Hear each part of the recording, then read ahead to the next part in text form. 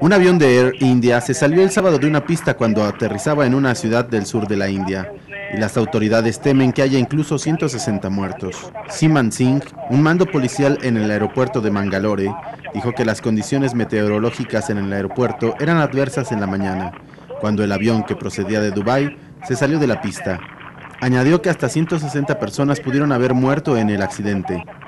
Las imágenes de la televisión mostraron que salía humo del avión, mientras las cuadrillas de rescate sacaban a varias personas de la nave.